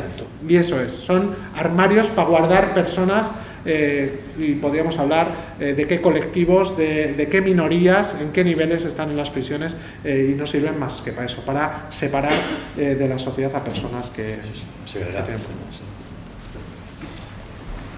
Se podría decir entonces, John, que desde ahí se puede plantear una propuesta abolicionista, es decir, la cárcel no reinserta, eh, al menos para personas en las que se puede decir que hay un factor de, riesgo ¿no? Eh, en la comisión de ese delito, que puede ser, por ejemplo, eh, el consumo de drogas o el hecho de tener una enfermedad mental. Por tanto, entiendo que los programas que se hagan dentro de prisión, en verdad, tienen poco sentido. Ahí se podría plantear la no entrada en prisión en sustitución de otro tipo de programas. Yo creo que por supuesto, y además lo voy a hacer desde una perspectiva si queréis, hasta reformista. ¿eh? Es decir, que, y juntándolo con la pregunta anterior, porque están también planteadas que son consecutivas. no, no, eh, estaba, felicitando, ¿eh? era, era, obvio, era, era el subtexto, pero sí, por, eso. por eso estaba perfectamente planteado. Esto eh, mirar las cárceles hoy y las personas que están dentro, ¿no? efectivamente podría llevarnos a una adjetivación, ¿no? Yo estoy de acuerdo con la hace yo, pero tenemos consejeros de justicia que gestionaban las cárceles en Cataluña, ¿no? imputados en este caso, pero han estado, han estado presos. ¿no?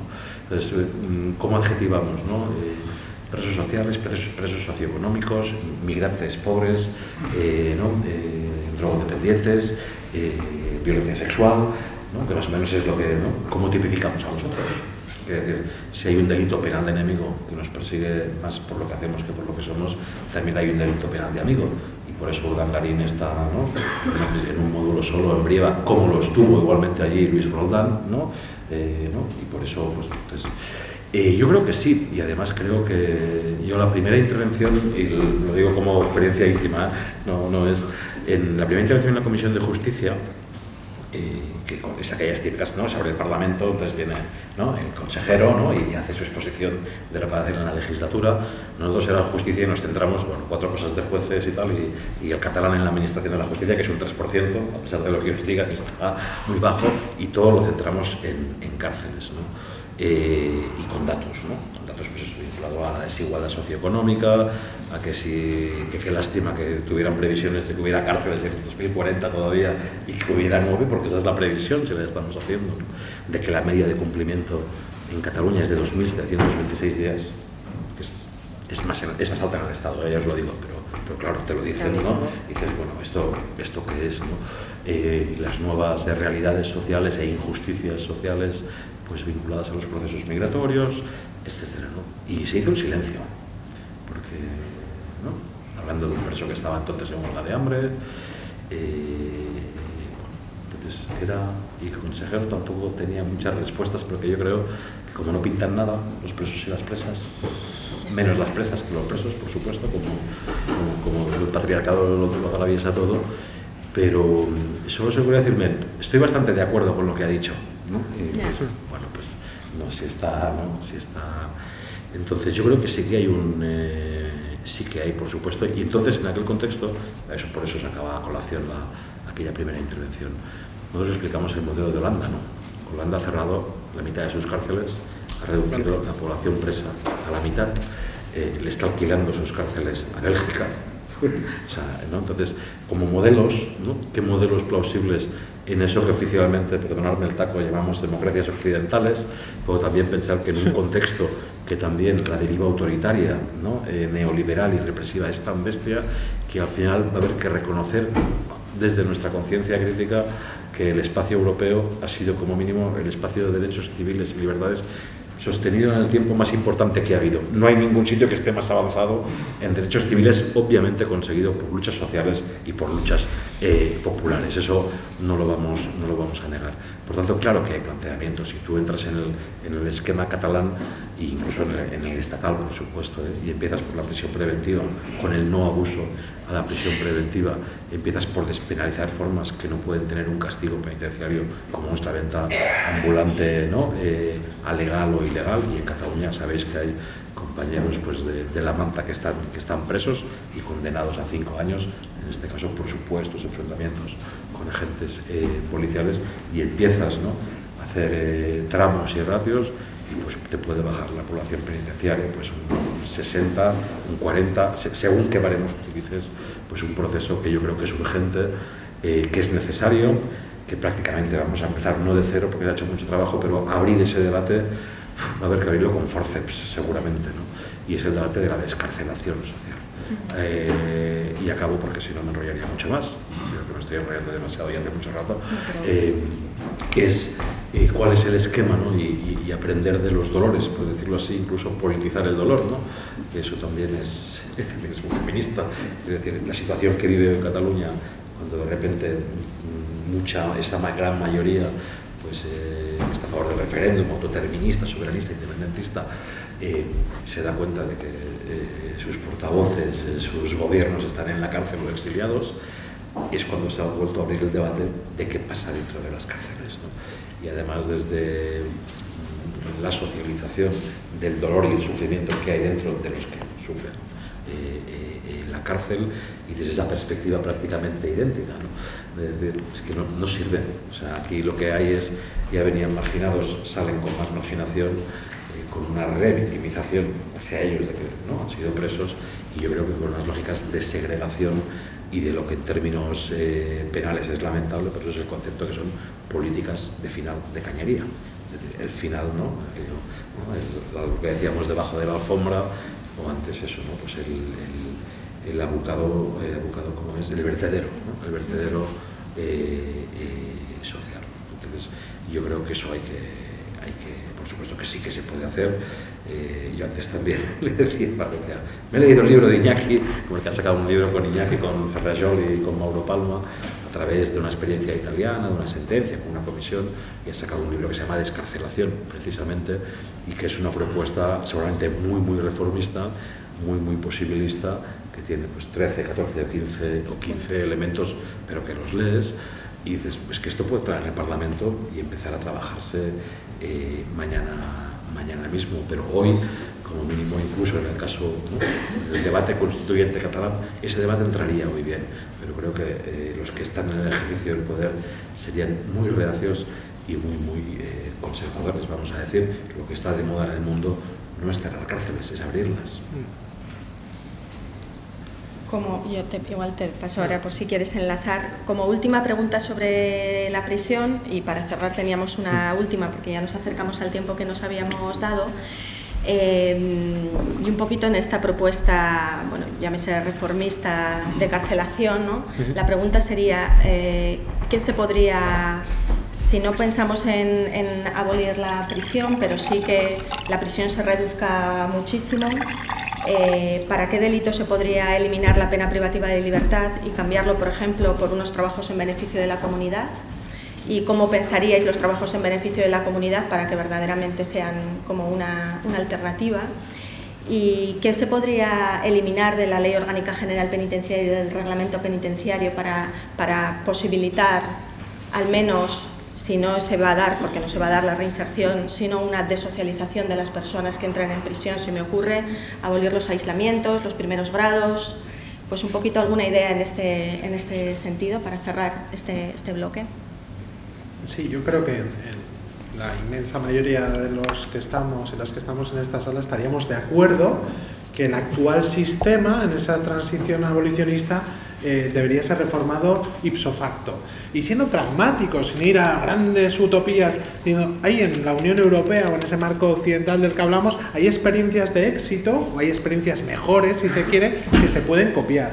Pero vimos cómo a colación de la crisis, la única experiencia penitenciaria que había en una prisión de Asturias, si no me equivoco, se, se quitó eh, por motivos económicos. Digo, eh, hay en la Unión Europea incluso prisiones, y ya digo que que sería muy crítico con el sistema penitenciario y, con las prisiones en sí, eh, prisiones sin muros, prisiones abiertas. En Córcega hay también una experiencia de este tipo. Pues en el Estado español ya vemos cómo haya sido la derecha o la izquierda institucional la que haya gobernado, se ha aplicado exactamente la misma materia. Y, os recordaba el, las mismas medidas y os recordaba el artículo de... Eh, Ignacio Escolar de hace unos años, que a mí me pareció eh, muy bien resumido, vemos cómo es el, sistema más eh, reaccionario y que busca lo contrario. En ese, en ese tránsito hacia la eh, abolición, yo creo que todos aquellos delitos eh, que tienen que ver con las drogas, o que son la inmensa mayoría de la gente que está en, prisiones, obviamente que debería estar fuera y debería estar en programas eh, que ayudaran a salir de esa situación. igual forma, todas las personas que tienen enfermedades mentales. Recientemente he preguntado al gobierno y no me dio una respuesta correcta, es que solamente el 4,5 de la población penitenciaria tenía verdaderamente enfermedades mentales graves, cuando cualquier persona que esté en contacto con lo que es el mundo de las prisiones te dice que es muchísimo más alto. Otra cosa es qué considera la administración como enfermedad eh, mental grave. Y qué hablar, y estando aquí en Euskal Herria, de los presos políticos, que estamos tras ocho años que desapareciera eh, una violencia eh, de Euskal Herria, que continuamos prácticamente con las mismas medidas penitenciarias, con la misma política penitenciaria de excepción y de venganza que tenía el Estado. Un sinsentido, tomando precedentes que hay, eh, ya digo, no hace falta irse a, Colombia o, a Sudáfrica, sino en Irlanda del Norte, que cuatro años después no había un preso en las cárceles. Pues vemos cómo en el Estado español se sigue aplicando esa política de, de venganza y excepción.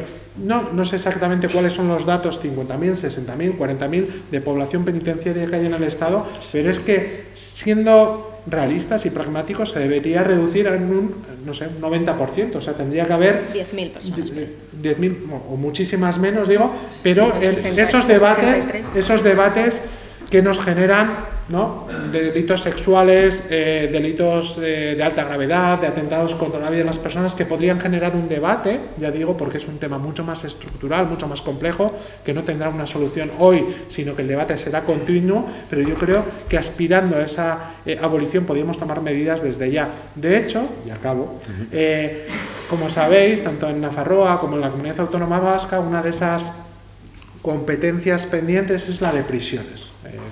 39 eh, años después en la Comunidad Autónoma Vasca y 37 años después de esa aprobación de los estatutos y en el caso de Nafarroa de la ley de la mejoramiento navarro, eh, bloque constitucional, como dirían los constitucionalistas, pues siguen sin transferirse.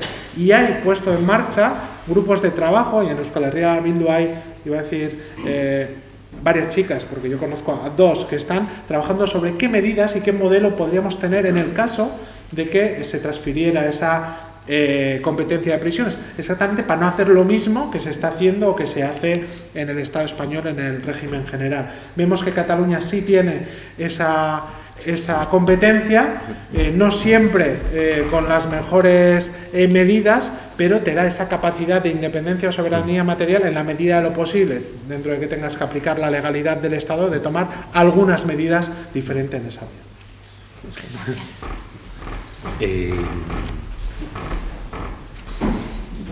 Bueno, yo creo que habría que derogar la ley orgánica. Muy bien. ¿no? Eh, no, que- no que sea la primera como fue entonces, eh, pero que se podrían cambiar muchísimas, eh, muchísimas cosas, incluso que es urgente hacerlo.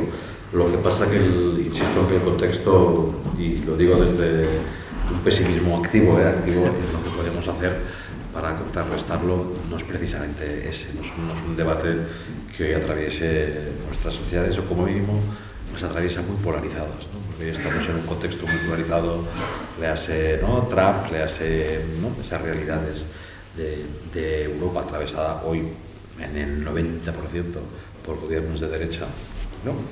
y, de, y apoyados con la extrema, con la extrema eh, eh, derecha, por tanto un, un presente eh, incierto, in- inquietante y con negros eh, nubarrones, pero bueno, de peores eh, nos hemos salido y en peores y en peores eh, y en peores condiciones. Eh, y lo que tanto no es tanto o sea, subvirtiendo la cultura delegativa de qué va a hacer la política o qué va a hacer el Estado o qué van a hacer las instituciones políticas comunes que tienen que organizar respuestas, obviamente. Yo diría que una de las grandes alternativas para facilitar eso es, eh, es la potencia social y colectiva. Y creo que la comunidad como apoyo es una fuente fundamental para cualquier proceso de acompañamiento ¿no? Eh, a víctimas, y en este caso, si queréis, de los victimarios incluso. Creo que, que el retorno, eh, la posibilidad de una vida digna, garantizar una vida digna a las personas que han estado privadas de libertad durante muchos, muchos, muchos años. Antes le explicaba un caso muy concreto a Abad, requiere de nuestra activación social. Si pensamos que papá Estado nos lo va a solucionar todo, entraremos otra vez en, en los errores, incluso en los errores de siempre. Por tanto, la comunidad como apoyo, creo que es, ¿no? incluso desde claro, si me dices que, pues bueno, pues todos, si, si conocieses los datos de desatención médica en enfermedades en los últimos 30 años en el Estado español, pues salen, ¿no? Antes pasada hablábamos con John también, con pues, 8.000, 9.000 eh, personas. Yo siempre cuando estaba en la facultad que decían, en la década, en la década, solo en la década de los 90 en Cataluña murieron 1.000 personas en las cárceles eh, catalanas. ¿no?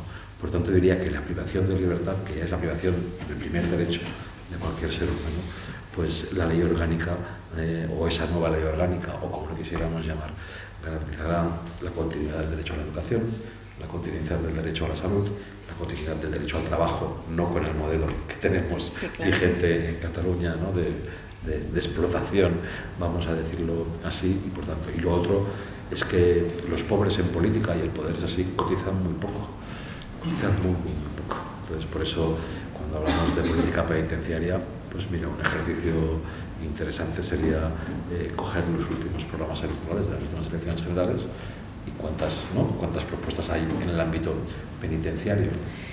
Bueno, pues la Que última, no sean- la última que no pregunta sean- que os íbamos a que no hacer. sean en un sentido regresivo, porque Sí, sí, penas claro, más duras, claro. persecución de la delincuencia y no sé qué, ese discurso está instalado en todas, en todas partes, ¿no? incluso obviamente en el PSOE.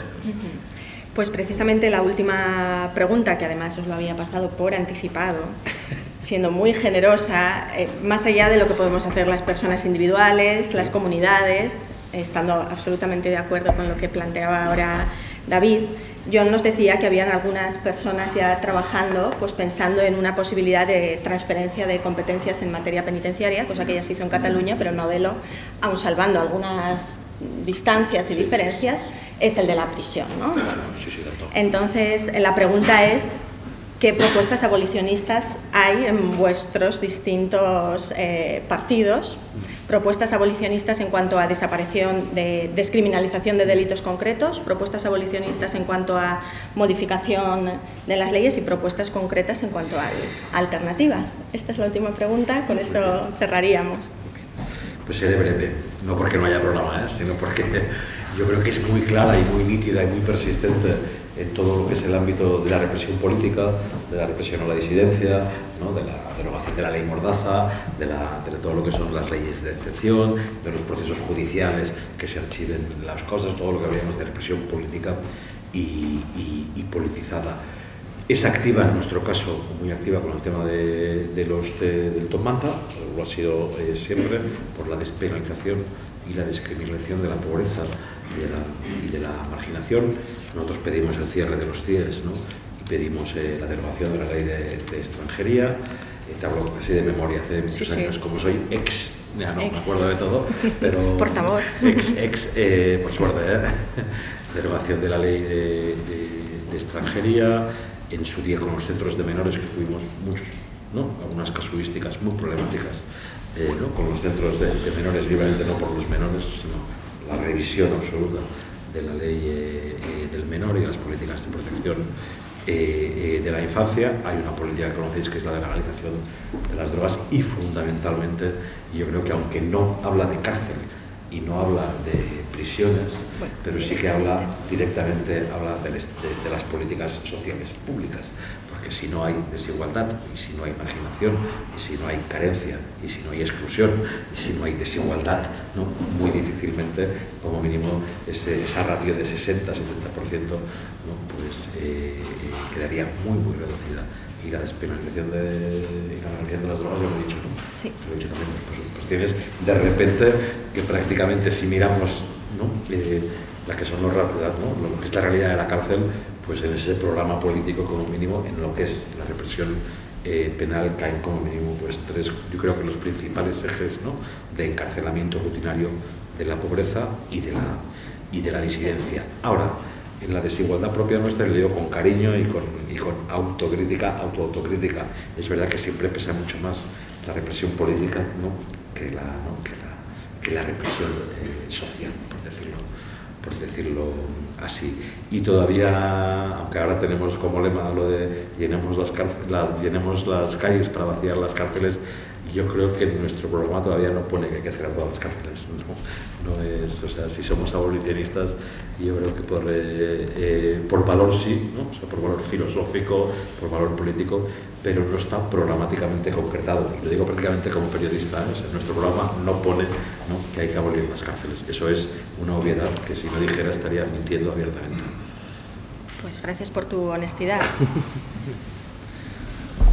Yo comenzaré eh, por una anécdota del pasado año en una eh, mesa redonda en Madrid con representantes de todas las fuerzas políticas eh, sobre tratamiento penitenciario para los presos y presas políticas vascas, sobre qué se debía hacer ante ese nuevo escenario de desaparición de ETA. Era mayo-junio del pasado año yo en la mesa dije que eh, había que proceder a la eh, eh, de, todos los presos y todas las presas. Entonces hubo un representante que era el del Partido Socialista, la izquierda institucional, diputado vasco Don Elorza, que se alteró y me dijo que, era un provocador, que lo había dicho para provocar, y le dije que no, que verdaderamente yo era lo, lo que pensaba, y al mismo tiempo pensaba que se debía hacer de manera pragmática.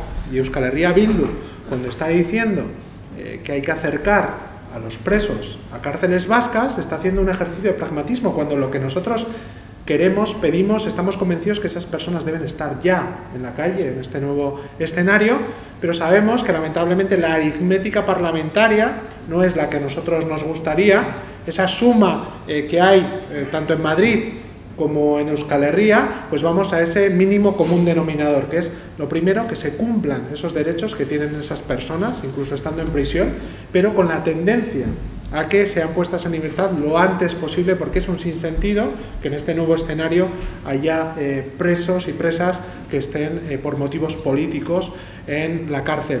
Eh, y de igual forma que digo esto con el colectivo de presos que más cercano tenemos, que más familiares, amigos, personas cercanas tenemos, lo digo también en el ámbito general. Digo, cuando hablamos de esa competencia de, de prisiones, que también desde ese pragmatismo ojalá viniera mañana, con todas sus dificultades, con todas sus contradicciones que va a tener, que es obvio que va a tener, pero mejor gestionar desde aquí y poder hacer pequeños pasos, pequeños eh, eh, para subir al Everest cuando se dice que hay que ir eh, campamento a campamento, del campamento base a, a, la cumbre, pues poder hacer esa gestión desde, desde aquí y poder hacer las cosas diferentes. En ese modelo de transición hacia la abolición y teniendo en cuenta y repitiendo que el 70% de, de los presos que están en prisión son por motivos o delitos relacionados con las drogas.